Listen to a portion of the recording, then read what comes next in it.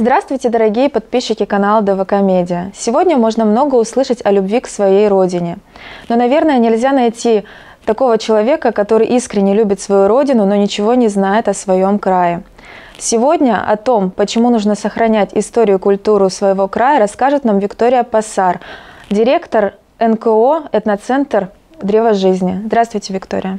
Здравствуйте. Виктория, расскажите поподробнее о деятельности этноцентра. Этноцентр был открыт недавно, в 2020 году, год назад. А, но до этого он существовал как инициативная группа с 2018 года. А, наша деятельность заключается в том, что мы продвигаем э, культуру коренных народов и, и поддерживаем а также ну, как бы движение вообще возрождения народных традиций, в том числе и славянских. То есть у нас такая коллаборация происходит. А в рамках этого этноцентра мы реализуем социальные проекты разной направленности. В основном, конечно, это у нас а, занятия, образовательная деятельность, направленная на просвещение, на сохранение традиционной культуры, на поиск новых интересных видов практик, чтобы именно доносить до населения а, вот. И э, на данный момент мы реализуем социальный проект, проект «Школа традиции Ачамбари», о котором я сегодня чуть позже расскажу. А, мы группа творческих людей, единомышленников, а, разных национальностей, русские, нанайцы в основном. Вот. Мы объединились вокруг этой темы, потому что нам интересно то место, где мы живем, мы не хотим отсюда уезжать, мы хотим именно, чтобы Комсомольск, процветал, чтобы молодежи было интересно, и не только молодежи, да, чтобы здесь были какие-то интересные виды деятельности, чтобы можно было куда-то куда пойти не просто там, а, там, не знаю, в кафе и, там, и на дискотеку, да, там, или в кинотеатр, чтобы были такие какие-то интересные а, площадки для того, чтобы человек пришел, чему-то научился, что-то новое узнал, культурно провел свое время. не просто так заполнил, да, а именно с каким-то интересом. Вот мы как бы отличаемся от многих организаций, которые вот у нас в городе э, как бы с населением работают, вот тем, что у нас именно э, традиционная деятельность, ну, да, можно сказать, в современном ключе, потому что в чистом виде очень сложно сейчас вести. Вот, сама я носитель национальных традиций и э, собираю таких людей вокруг себя и занимаюсь продвижением культуры народов Преамурья в основном. В том числе в дружбе с, со славянами, ну вот именно с русским населением, потому что это титульная нация. Вот, я считаю, очень надо поддерживать ее, эту нацию, ну, в плане, что, что показывать, что без них не было бы у нас такой великой страны. И, а, так, так что каждый народ это должен быть, как бы вносить свою лепту в это, в развитие дружбы, отношений. Часто сейчас можно услышать слово толерантность. Угу. Вот чем отличается принципиально дружба народов от толерантности?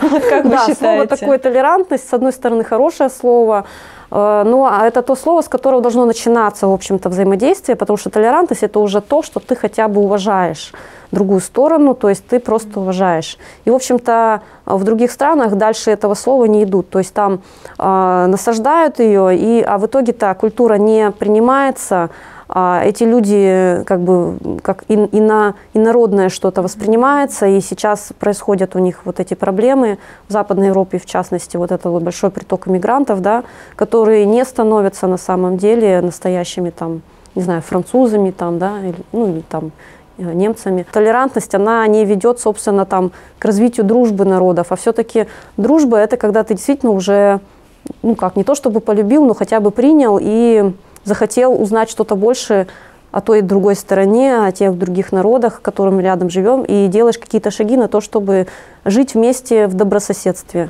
Ну, можно сказать, какая-то ассимиляция, да? Да, а в этом плане, я считаю, у нас передовая страна. В плане вот э, межнациональной политики у нас как бы есть Федеральное агентство по делам национальности, у нас есть много там, ну, как бы целая законодательная база по защите ну, традиционного образа жизни, по праву там, на свой язык, на свои традиции. Вот. В этом плане э, комсомольский у нас тоже как бы все, я думаю, все хорошо. У нас есть ассамблея э, народов Хабаровского края, вот, я являюсь тоже членом этой ассамблеи. Также у нас э, даже открылся э, несколько лет назад Совет уполномоченных коренных народов при мэрии города, что тоже является очень важным таким а, этапом на, в плане вот защиты именно прав, ну, свобод, защищать свою э, традиционную направленность на сохранение традиций культуры. То есть у нас в Комсомольске достаточно в этом плане учитывается. То есть вот мы сейчас привлекаемся на разные городские мероприятия, а, в разные советы входим. То есть это говорит о том, что как бы нас не, как скажем, не, не, не отмахиваются от нас, то есть нас учитывают. Это хорошо. Угу. Ну вот вы говорили, что вас привлекают на различные городские мероприятия, да? Угу. Вот на какие именно? Ну, прежде всего у нас есть э, майские праздники, э, Победа, да, День Победы. То есть вот э, мы всегда участвуем, мы сейчас в последнее время стали участвовать в шествиях, в национальных костюмах, то есть это мы обязательно участвуем э, в Дне города, тоже выступают наши э, коллективы. А, также поддерживается вот, ну, наше участие, мы участвуем в, э, в Сабантуе, на Силинском парке, то есть вот все вот крупные, где нужно какое-то вот именно интересное содержание показать, именно что вот в городе происходит, обязательно нас зовут. Мы участвуем в точечных мероприятиях, там каких-то там и гражданские форумы, там, ну и в общем-то и какие-то интересные круглые столы вот проводит э, библиотека Островского, mm-hmm. там э, в музей изобразительных искусств вот очень активно нас приглашают. То есть, конечно, нас ну мало вот в плане того, чтобы что-то там показать прям в большом количестве, но э, я думаю, что мы будем развиваться в этом направлении. Возвращаясь к теме этноцентра «Древо жизни», вот хотелось бы сразу спросить, что, какой сокровенный смысл скрыт в названии? Почему древо жизни? Ну, древо жизни – это такой сакральный символ. Вообще, если брать генетически, вот древо у всех народов оно есть. Есть генетическое, родовое древо. Также вот, э, вот эта вот вся философия древа жизни, она на самом деле э, э, понятна каждому человеку. Просто даже когда говорят древо жизни, да, то есть у всех возникает целая, так скажем, развернутый ряд ассоциаций на эту тему. Ну, у нанайцев было очень много легенд, связанных с древом. Начиная от того, что а, человек родился в древе, там, от того, что ну, там какой-то род появился из древа. То есть заканчивая тем, что там уснул под деревом, там попросил что-то, уснул под деревом, и потом тебе ответ пришел, либо э, под этим деревом что-то нашел. У каждого человека есть свой двойник, духовный дерево, вот где-то в лесу, который фиоха у нас вот это, пиоха, фиоха, правильно говорить. Вот. И есть также виды деревьев, есть вот родовое древо, есть шаманское, есть э, древо жизни вообще вселенского масштаба. То есть на самом деле в нашем вот, мирополитии мировоззрении коренных народов а, древо жизни, оно есть вот общее, и есть вот много-много-много вот под дерев. То есть, и все они связаны а, действительно какой-то сетью, какой-то паутиной, потому что каждое дерево, оно отошло от какого-то большого дерева. То есть это все такая большая философия, и поэтому как-то вот это слово, вот это словосочетание было принято нами за основу в нашей организации. Мы считаем, что древо, оно само по себе монументально тем, что у него есть большая корневая система. Mm-hmm. То есть это как раз вот знание наших предков, то, на чем мы стоим. А, не зная своего прошлого, не построишь будущего. То есть поэтому а, древо с его корневой системой является для нас основой. Это и философия, да, то, что ну, как бы такая вот а, укорененность, да, то есть в этом мире. И это вот как раз вот трижды три неба, да, вот как вот есть выставка у нас в Музее изобразительных искусств, вот у нас есть представление о том, что, во-первых, а, есть подземное царство, царство мертвых буни, есть вот, да, мир, в котором мы живем, Буа, вот это вселенная Буа, вот, и есть э, верхний, э, верхний мир, вот, э, в ко который, в свою очередь, делится еще на, на 9 небес, то есть вот это трижды три неба, вот это неспроста. То есть для нас вот это число 3 священное и число 9. Вот, и поэтому, ну, древо для меня это вообще, это, ну, просто, ну, шикарнейший, мощнейший сакральный символ, который вообще оплетает всю нашу культуру. То есть у других народов тоже древо везде, но у нанайцев древо это все, это прям вот божество, потому что даже вот э, бог земли, Мудур, бог земли, он тоже иногда вот изображается символично в виде древа. То есть вот древо изобразил, все, это уже и дракон тоже. Mm-hmm. То есть это вот очень... Наш Амур это тоже дракон, черный дракон Сахари, да, вот. А, вот. И поэтому а, я считаю, что такое название, оно должно было ну да, прийти в мою символика. жизнь. Да, тем более, что мне мама с детства очень много рассказывала. И потом я очень много от людей слышала. Ну, то есть такой очень важный символ. И для славянской культуры, кстати, тоже. Да, да. Для Да, многих есть, культур. Да, и вот птицы, живущие на древе жизни, это нерожденные души младенцев. И то, что души вообще зарождаются на дереве. То есть, ну, хотя, конечно, там много всяких вариаций, нету прям четкого, прям, прям что только на, на древе, на древе жизни, но есть конкретно дерево, омямани, древо душ вот прям есть. То есть вообще, если брать с философской точки зрения, нельзя взять и вот просто сказать, вот ствол, ветки, корни, все, это древо жизни. Да? На самом деле оно же может быть как храм мира представляться, то есть у него не может быть четкой прям вот такой формы, именно если говорить о духовном древе, у него не может быть прям четкой такой формы, что вот это вот только так и не иначе. Да? То есть на самом деле, вот если брать вот наш такой вот континуум, такой информационный, там, да, вот духовный континуум, в котором мы живем, то дерево для нас это такое вот действительно то, что нас окружает, вот это древо жизни. Самое его основное качество, то, что оно имеет всегда истоки, и оно направлено своими ветвями в будущее, в хорошее, светлое будущее. Красота. А вообще можно спросить, как вы вообще пришли к этому? К сохранению своей культуры? Это преемственность какая-то? Преемственность какая-то, Да, наверное, конечно, конечно. Ничто действительно не случается просто так. Всегда есть этому предпосылки. Для меня это моя семья, это моя мама. Я являюсь, э, ну, как бы в основной своей своей деятельности художником, а, продолжаю орнаментальные традиции моей семьи. И э, отсюда вот э, истекают другие мои хобби. То есть я сейчас увлеклась традиционной музыкой, вообще вот, э, ну, поднятием разных видов деятельности коренных народов. Ну, а начиналось все просто с того, что мама у меня мастерица, которая очень, ну, можно сказать, с 7 лет она занимается вот орнаментикой, начиная вот то, что она воспитывалась бабушками своими, у которых были сундуки с э, разными вышивками, с вырезками. И, в общем-то, у нее вот это вот настолько глубоко в ней заложено, что и, в общем-то, она не могла на меня это не транслировать. И я тоже с пяти лет э, занималась вырезкой. Вот. Но осознанно, конечно, это пришло уже в зрелом возрасте, когда, особенно когда ее не стало. То есть я уже поняла, да, что у меня есть это, и я не могу от этого уйти, я могу, я могу только это продолжать.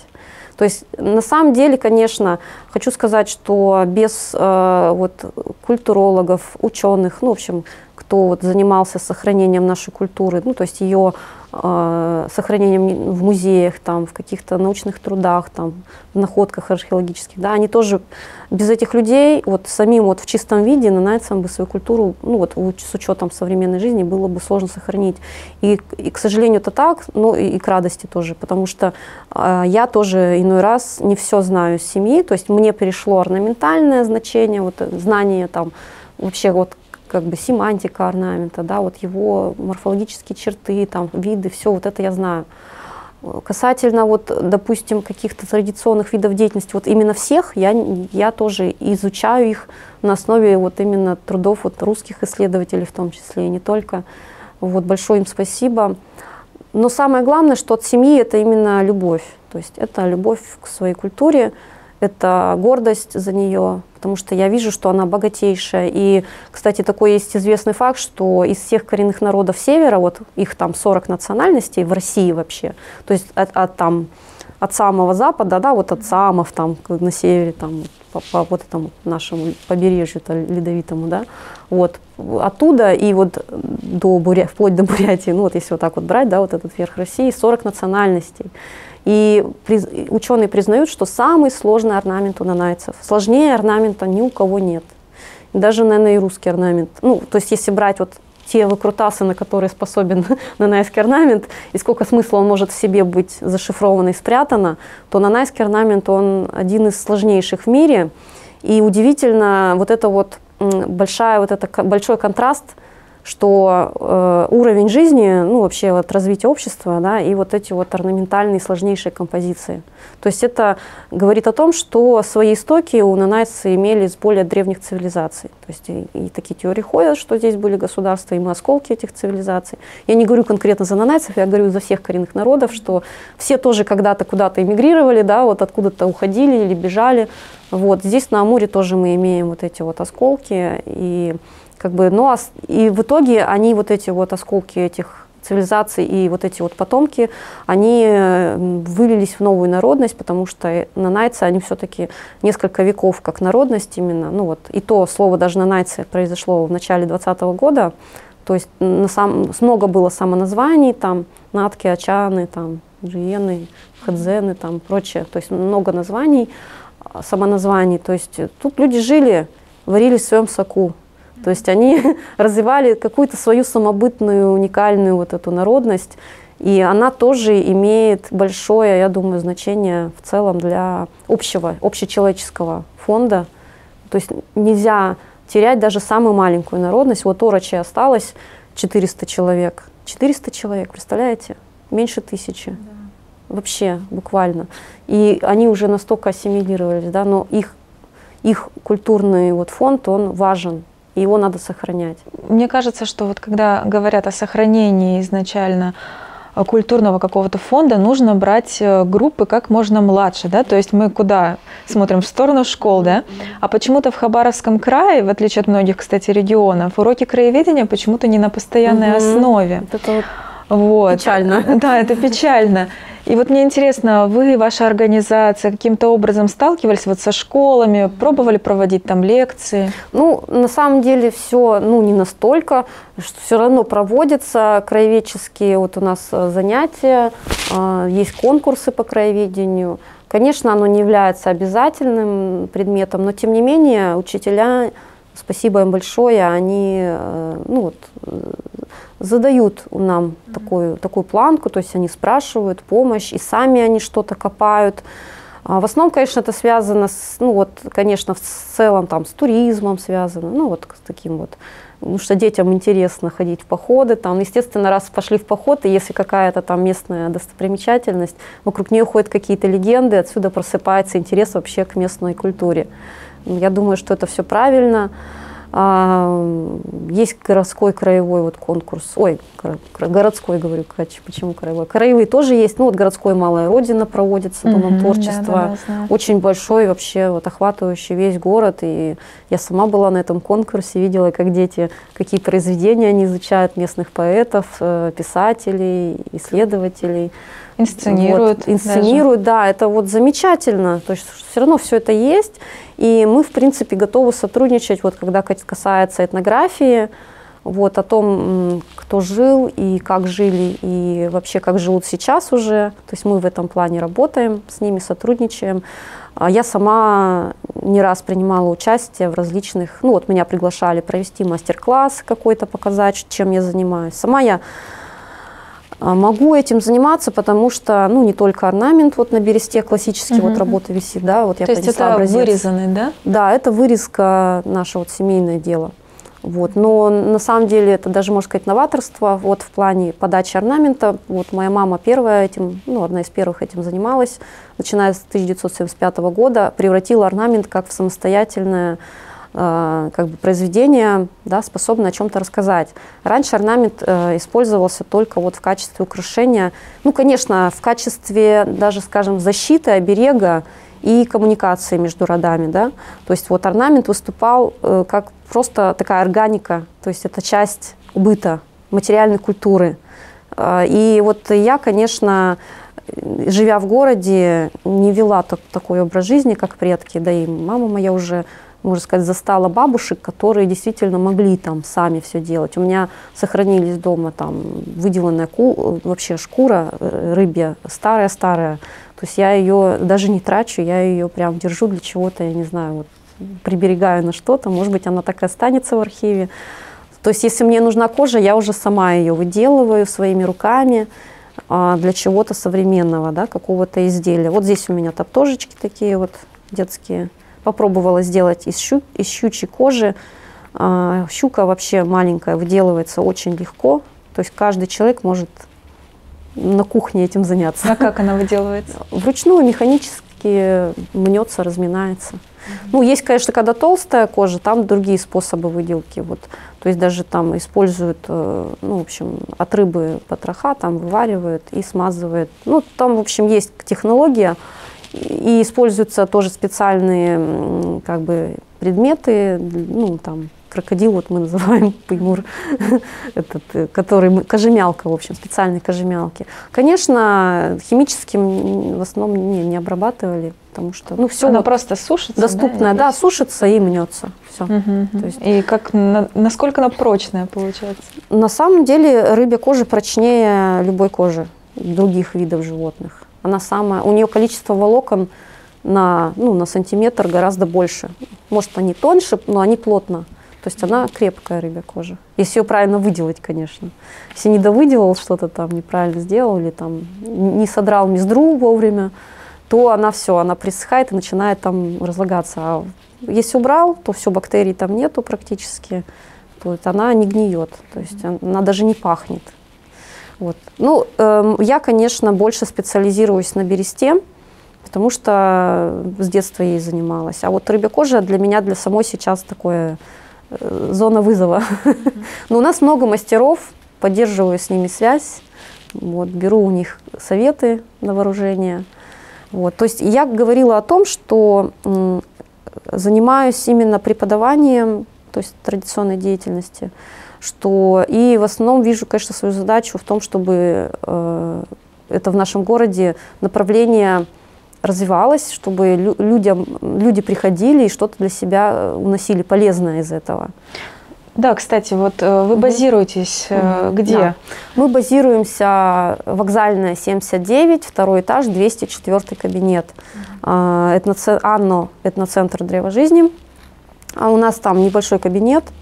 По субботам у нас там занятия проводятся сейчас, вот в данный момент, вплоть до лета там мы еще продолжим. Но вот на данный момент мы это делаем в рамках проекта Чамбари, который получил а, муниципальную поддержку. Мы выиграли в э, конкурсе небольшом грантов. Вот, выиграли там 100 с лишним тысяч. Ну, это вообще чуть-чуть. Ну, нам на материалы Тем хватит. Менее, да. да, занятия у нас бесплатные. Сами мы тоже как бы все это проводим пока бесплатно, на энтузиазме.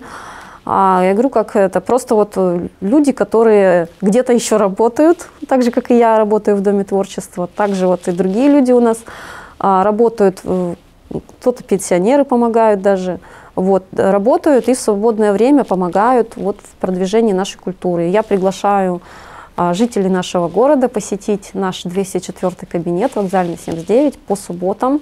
Ну, у нас не каждую субботу, но почти каждую. То есть вот э, можно, чтобы точно знать, что вы придете и попадете к нам, э, можно зайти в наш инстаграм, а, Древо жизни, так и называется инстаграм. Найдете, там в инстаграме много древ жизни, но именно вот комсомольский и этноцентр только один. Поэтому полистаете, найдете у нас такой зеленый значок дерева. То есть найдете, посмотрите, у нас там всегда есть анонс. То есть какой мастер-класс будет через неделю, например. Вот. Туда могут прийти взрослые и дети, да? Да, взрослые и дети. Мы направлены на то, чтобы были все у нас возраста, потому что все-таки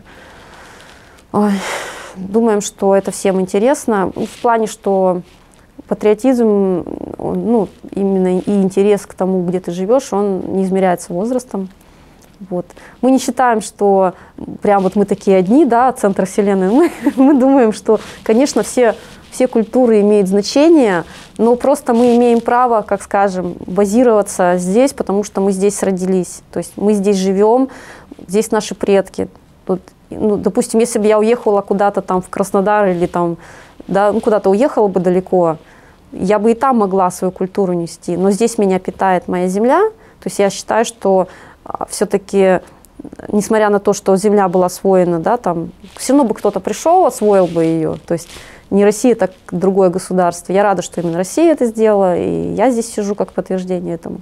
Вот, я к тому, что а, в этом и должна вот политика, ну, как бы взаимодействия с местным населением, чтобы а, люди закреплялись на местах, чтобы люди знали историю этих мест, чтобы, они, чтобы им было интересно взаимодействовать с этой историей, с ее носителями, с культурой этих мест, потому что отсюда и вырабатывается вот это вот, ну как бы, как, как бы это банально ни было, любовь да, к малой родине, но так оно, но она, ну, она есть, она должна быть, она должна начинаться с людей, вокруг, с которыми ты общаешься, которые вокруг тебя как она родится во что-то другое. И э, понятно, что мы все озабочены в первую очередь насущными делами, как выжить, как заработать, но э, жизнь, она большая, разнообразная, и думаю, что это поле такое интересное.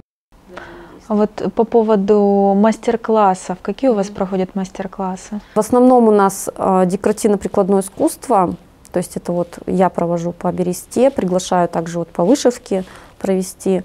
Также вот у нас проводятся лекции лекционные, ну, типа лекториев, то есть на разные темы. Недавно у нас была в гостях э, Светлана Николаевна Киле, которая рассказала о традициях своей семьи и о музыкальном направлении. Она как носитель музыкальной культуры была.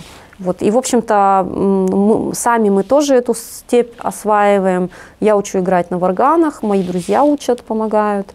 Вот. Э, прежде всего на них. Другие музыкальные инструменты, такие как ну, флейта, там, это более сложное. Ну, я думаю, для того, чтобы вообще как-то вот в эту как бы вовлечь в это все, достаточно хотя бы вот, не, там, постучать на бубне, поиграть mm-hmm. на варгане. Я там, допустим, подзвучу там на другом инструменте, там, на флейте. Там. И у нас уже будет какая-то вот общая, получаться, композиция, какой-то модное слово джем. джем. да, модное слово. На Найт Софите музыкальная была э, вот эта вот сфера жизни развита в основном вот как песни, да, вот традиционные песни. Вот женщины сидят, поют, там чем-то занимаются, поют, да, там мужчины тоже. В основном песни. В плане музыки в основном это была ритуальная музыка. То есть а, вот не было такого вот как вот концерт это появилось с приходом советской власти, и оно стало как бы актуализироваться и развиваться. И то, что сейчас делают на сцене традиционные вот эти наши коллективы, они, это, это в общем-то, собственно, ну, дитя 20 века. То есть на основе, конечно же, музыкальных предпочтений, характерности традиционной музыки. Конечно, оно не вышло так же, как и дерево, имеет свои корни. Вот. вот в этом плане мы развиваемся. То есть это такая современная реплика, но с, с уважением и с пониманием того, что мы делаем. Также мы обязательно общаемся, у нас целый клуб, так скажем, создается, то есть мы культура чаепития, да, вот, ну и вкраплениями мы можем на традиционные, ну, там, игры проводить, то есть показывать, в какие игры играли там, да, практиковали. Тем более, что это направлено на людей, которые, ну, практически ничего не знают, то есть Э, есть у нас, мы можем, есть что предложить в плане там какого-то углубленного, это вот с моей вот с орнаментальной точки, да, вот что я могу научить разрабатывать эти орнаменты, понимать их, вырезать тонкие какие-то сюжеты. А вот э, в основном людям интересно пока что вот как-то в целом затронуться этим, услышать какие-то истории попробовать интересные. на варгане Да, поиграть. просто, да, да, попробовать хотя бы. Но мне известно, что у вас кое-какой реквизит с собой, так что, может быть, изобразите нам что-то? Ну, да, я могу показать пример, что вот э, учу играть на варгане. А, это вообще международный интернациональный инструмент, и никто, как говорится, нельзя сказать, что если ты играешь на варгане, то ты на нанается. Конечно, если ты играешь на варгане, ты просто любитель этнической музыки. Да, варгана прежде всего. Варган – это инструмент медитативный, помогающий даже излечивать какие-то, ну, в общем, у кого, у кого что, да, то есть там головная боль, может быть, там пищеварение, ну, влияет. Но это больше как бы общего гармони гармоничного такого вот состояния, ты добиваешься и тем самым излечиваешься. И он интуитивный, я так понимаю, то есть не нужно обладать каким-то... Да, музыкальным образованием обладать не нужно, даже ну, я не скажу, что слух не нужен, но все равно достаточно даже чувство ритма. Вот. Хотя на самом деле этот инструмент, его уважают и, и музыканты профессиональные. То есть, то есть в этом и его ценность, что можно от новичка и до профессионала в нем развиваться. А, начина, начинать э, советую с простого какого-нибудь там Поткина. В орган можно пойти купить там в пределах тысячи и научиться его правильно держать. То есть нужно держать э, очень много уроков в интернете. Слава богу, это движение в России развивается. Вот. Ну, я покажу, на каком уровне я. То есть я, э, у меня сейчас простой достаточно орган в руках, не какой-то там концертный большой, а простой, на котором я играю дома. Такой вот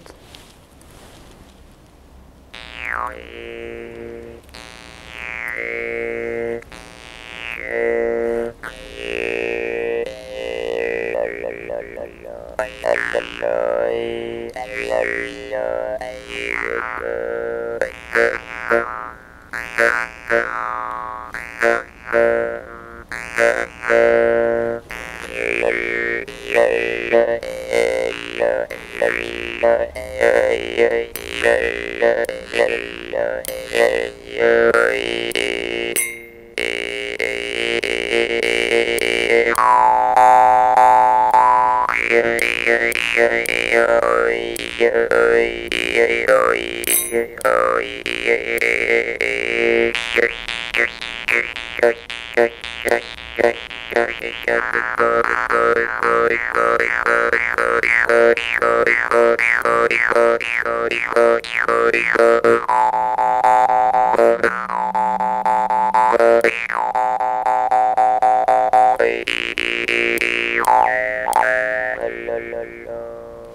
Ну вот, небольшой пример. Он у меня, слышали, пару раз звякал, потому что это очень, на самом деле, капризный. То есть есть органы, которые практически вот новичку легко, и он не звякает, потому что большие зазоры, и язычок достаточно жесткий, а здесь чуть-чуть вот сдвинулся там на, на полградуса, и он начинает звякаться. Вот я сколько его... я не пробовала, у меня всегда звякает. Да? Ну вот это вот я его и держу, вот этот инструмент, для того, чтобы учиться на нем ровному вот этому бою, потому что вот именно он очень чувствительный вот к неправильной постановке. Чуть не так, чуть-чуть сдвинул где-то, заволновался, и все, и он у меня греметь начинает. Вот. Сейчас я жду два профессиональных органа, заказала. Сами мы пока не делаем, то есть это достаточно сложно. Ну, это нужно быть кузнецом, ковать варганы, разбираться в этом. В Хабаровском крае варганы делает Дубровский Александр в Хабаровске. Вот он якутский считается мастер. Потому что сами нанайцы делали из дерева варган, ну, из деревянных таких дощечек, вот, хамусы. Вот, хотя кузнецы тоже были, но это было очень давно. Сейчас уже, ну, пока покупаем готовые, к сожалению, вот ждем, когда у нас все-таки появится свой мастер. Надеюсь, в Комсомольске. Ну так, вот. в перспективе вы ждете или уже кто-то есть там на примете? Пока не скажу, нету пока на примете, потому что э, вообще вот даже вот цель этого проекта, вот моего проекта, вот этого Ачамбари, вообще людей привлечь именно к носителей культуры. О, в смысле, ну, наших принадлежащих нашей национальности, потому что а люди, живя в городе наши, они вообще практически забывают. Ну, есть, конечно, кто интересуется, есть кто ходит, но их, ну, капля в море. То есть, и, соответственно, что кто-то из них еще, из вот этой капли еще будет, ну, какая-то вот профессиональная вот это рост, это очень маловероятно, что прям вот то есть практически по пальцам можно сосчитать, и еще люди уезжают. И вот я и почему этим и занимаюсь, чтобы у нас все-таки зародилось движение, то есть создалась та почва, на, на которой вырастают плоды, то есть не, чтобы люди не уезжали, чтобы люди, людям было интересно, чтобы наш компонент местный был представлен здесь. Вот, конечно, э, ну, не все разовьется, ну, то есть не может быть так, чтобы одновременно все развилось, но хотя бы вот какие-то элементы по одному начинали вместе складываться вот в это древо. То есть вот э, Моя задача не дать этому погибнуть в Комсомольске. Ну, то есть не только моя, не буду на себя брать все это. Ну, то есть я этому способствую. То есть и приходите ко мне, поучу вас играть и на варгане в том числе. Вот. Ну, бубен это больше, так скажем, еще более, так скажем, простой инструмент, но требующий особого состояния, и он, конечно, в подыгровке хорош. То есть э, бубен использую, и не только бубен. Есть разные интересные погремушечки, там разные там. Тоже, наверное, из рыбьей кожи. Да, то есть мы их когда сочетаем, да, да, перкуссии разные. То есть мы их сочетаем, они вместе вот как бы больше в таком вот, в тандеме, ну, вместе работают. по отдельности каждый, ну вот только и варган, он такой более интересный, там флейта. Все остальные, они, их надо сочетать, интересно. Ну, они часто имитационные, да? Да, имитационные, да, они имитируют. Ты у нас была на этом недавно, я очень рада, что мы с тобой продолжаем в этом плане общаться. Ты уже знаешь, что такое там дяпи, там, ну, разные там инструменты, которые э, имитируют, например, лед, да, ломающийся лед на реке, там шум ветра в камыше, вот, какие-то камушки скатываются по берегу. То есть вот таких инструментов у нанайцев было много. Там вот эти вот жужжалки всякие тоже. Интересно. Да, очень интересно. Я думаю, это вообще у каждого народа было. Да. Свистульки всякие делались из подручного материала. Ну, это просто э, как бы интерес к тому, что такое простое, но ну вот эффектное может быть, да, то есть mm-hmm. как-то вот в так, ну то есть мы а больше, конечно, э, просвещаем народ, то есть вот э, прям вот специалистом, чтобы стать в чем-то, это нужно, чтобы пришел ребенок, который бы этим загорелся, да, детей мало, то есть детей, которые этим, ну потому что даже я вот у меня двое детей, мне сложно и вспоминая себя хочу сказать, что мне тоже, вот я до 15 лет вообще особо интерес к этому не проявляла. То есть оно было рядом, для меня это было там, мама меня брала на какой-нибудь фестиваль там, или в детский лагерь, где была смена «Дети Амура». Брала меня в деревню. Я с ней как этот, турист такой, знаете, городской турист. Ну, который просто смотрит, ну да, ну, как бы не выказывает какого-то ну как, что вообще не интересно, но в то же время какого-то прям особого. Это, это, понимаете, это происходит, это вообще со становлением человека, да. А, даже вот, э, ну вот русские, да, вот тоже э, должны, должны защищать свою культуру.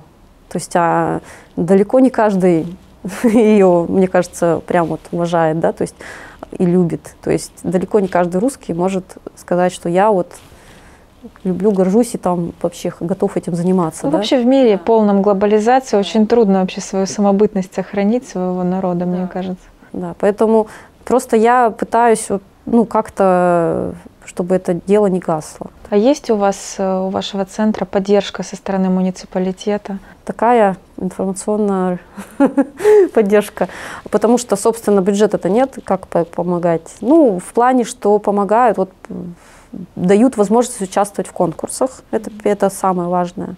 Это уже поддержка. То есть поддержка оказана этому проекту, это в рамках конкурса грантового. Mm-hmm. То есть мы выиграли.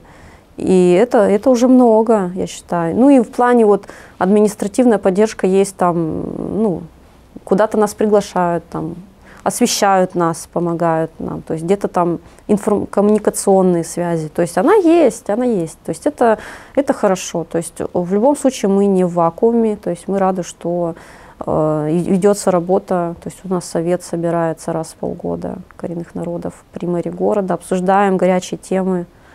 Вот что сейчас вводится реестр, например. Реестр это что-то вроде переписи.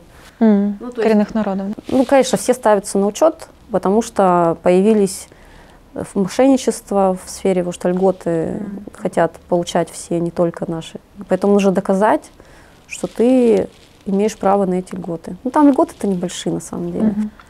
И получается, у вас проект рассчитан до конца лета, да? Кстати, да, в августе у нас будет национальный праздник Буэ-Анипу. Вообще, сам Буэ-Анипу, наш праздник, это комсомольский.